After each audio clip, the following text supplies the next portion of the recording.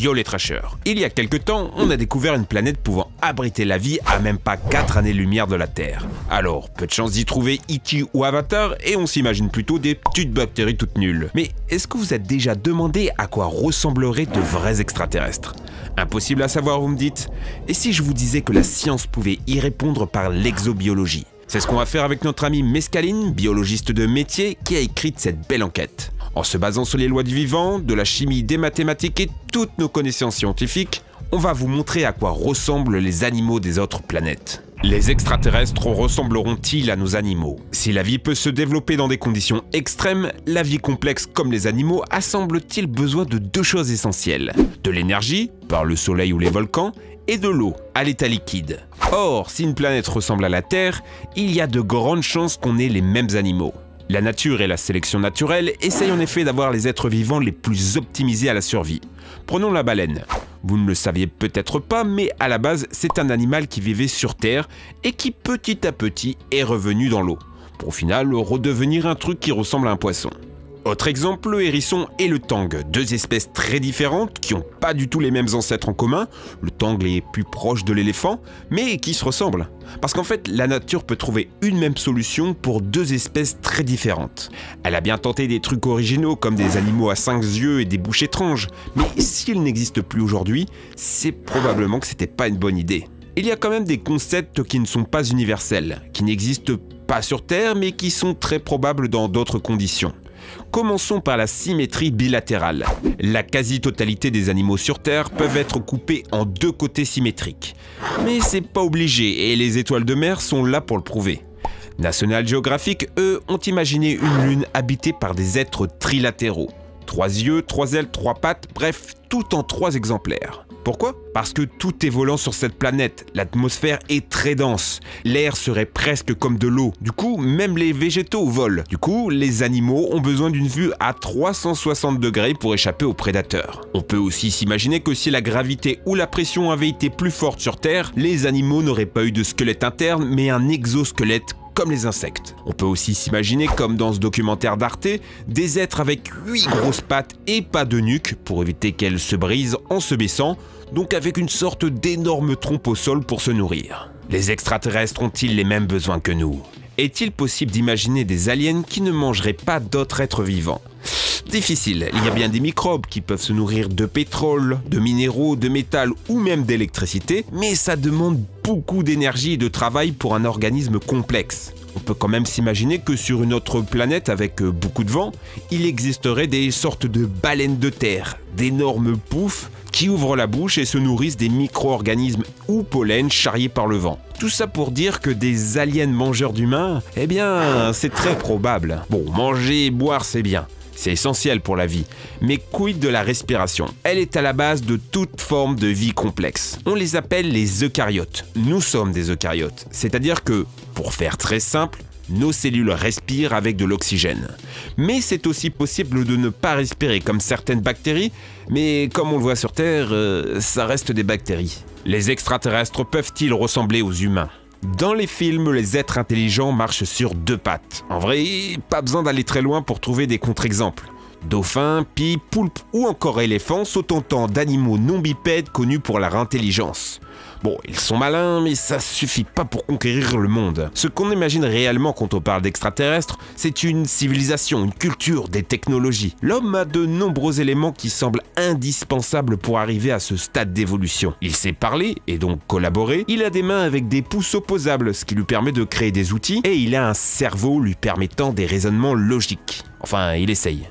Si tu as tout ça, pas besoin d'avoir deux jambes. Tentacules, nageoires, centaures, tout est possible. Pour la vision et la communication, la nature nous offre aussi plein d'alternatives aux yeux et aux cordes vocales. Pour parler avec ses congénères et modéliser son environnement, on a aussi les odeurs comme les requins, les phéromones comme les fourmis, les ondes électriques pour certains poissons, les champs magnétiques pour les abeilles ou la détection de chaleur comme les serpents. Une civilisation extraterrestre n'a donc pas besoin de voir avec les yeux ou de parler. En réalité, si les extraterrestres devaient ressembler aux humains, c'est uniquement dans le cas où nous serions nous-mêmes des extraterrestres c'est-à-dire si notre matériel génétique avait été inséminé sur Terre par une autre civilisation il y a des centaines de milliers d'années. L'influence de la planète sur les formes de vie. Bon, comme on le voit depuis tout à l'heure, la vie s'adapte avant tout à sa planète et aux prédateurs. L'exemple le plus célèbre est celui des phalènes du boulot. C'est ce fameux papillon qu'on voit en SVT et qui sont devenus noirs près des usines de charbon parce que tout était noir autour et se camoufler permet de mieux survivre. Pour connaître la couleur et la texture des animaux extraterrestres, il faut donc connaître la végétation et les roches de l'autre monde. Sur Terre, les végétaux sont majoritairement verts car la chlorophylle absorbe les rayons bleus et rouges. Mais notre soleil émet de la lumière blanche. Si des plantes étaient exposées à la lumière d'un soleil rouge, alors elles seraient noires. Si le soleil était bleu, alors les plantes seraient grises. Il n'y a pas que la lumière et la chlorophylle pour trouver de l'énergie. On peut aussi être une plante parasite, une plante carnivore ou utiliser de la chimiosynthèse comme les algues. Comme vous le voyez, pas besoin d'aller très loin pour voir des plantes bizarres. Des plantes qui s'adaptent au vent ou à l'inclinaison du soleil, il y en a plein sur Terre. Cependant, un fantasme possible, mais pas chez nous, c'est celui des plantes volantes. Des plantes gonflées avec de l'hydrogène ou du méthane. Mais elles seraient explosives et vous imaginez les incendies pas très conseillés pour les plantes. Quels composants pour la vie extraterrestre? Pourquoi il n'y a sur Terre que des êtres composés de carbone? Tout d'abord, il faut savoir que la vie est composée de très longues molécules, et le carbone est l'élément idéal pour qu'elle soit stable. Tous les sucres et protéines dont nous avons parlé précédemment sont composés de carbone. Même si le carbone n'est pas si abondant que ça sur notre planète, il a été éjecté en bonne quantité dans l'univers. On pourrait imaginer d'autres briques élémentaires à la vie, comme le silicium, l'arsenic, l'azote ou le phosphore, mais ça marche pas tip top. La vie n'a pas choisi le carbone par hasard. Le silicium est trop gros et trop instable. L'azote et le phosphore forment un bon duo, mais n'est pas viable dans sa forme la plus courante. L'arsenic est toxique pour presque tous les êtres vivants, et le souffle pourrait remplacer l'oxygène que nous respirons, mais pas créer une biochimie à lui tout seul. Si vous voulez des détails, on vous en donne dans cette vidéo bonus présentée par Mescaline. La physique-chimie n'est pas la seule chose qui limite le vivant. Il y a aussi la mathématique. Vous ne le saviez peut-être pas, mais toutes les formes du vivant sont régies par des équations. Ce sont les fameuses structures de Turing. Les extraterrestres auront donc aussi des tâches comme les léopards, des rayures comme les chatons ou des motifs bizarres mais complètement mathématiques comme la chair dans notre bouche. De la vie ailleurs on estime qu'il existerait 240 milliards de planètes dans notre seule galaxie. Seuls 0,04% ont les conditions pour abriter une vie proche de la Terre. Ça fait 100 millions de possibilités rien que dans la Voie lactée. On estime qu'il y a 200 milliards de galaxies dans l'univers, soit possiblement 20 trillions de clones de notre planète. Autant vous dire qu'on n'est pas seul. Pour vous dire à quel point c'est simple de créer la vie, on a été capable de reproduire les conditions de la Terre à ses débuts et à produire les prémices d'un ADN. Mais pas besoin d'aller à l'autre bout de la galaxie pour trouver la vie. On en a déjà des pistes dans le système solaire. Saturne et Jupiter sont de vrais nids à lune potentiellement habitables.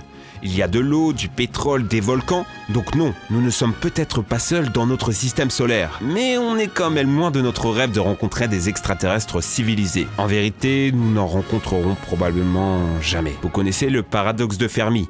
Il existe des extraterrestres, mais soit ils sont déjà tous morts, soit ils ne sont pas encore assez évolués, soit ils sont venus il y a longtemps mais on n'était pas là, ou peut-être qu'ils nous observent mais ne veulent pas rentrer en contact avec nous. Néanmoins, on peut toujours se consoler en se disant que sur Terre, il y a des animaux bien étranges qui semblent tout droit sortis de la science-fiction. En attendant, je vous invite à regarder cette vidéo sur les planètes les plus étranges de l'univers ou sur la création d'une cosmogonie scientifiquement exacte. Si vous aimez ces sujets d'espace, mettez un petit pouce bleu comme ça on sait qu'on doit en refaire et jurez, vous allez adorer ces vidéos. Allez-y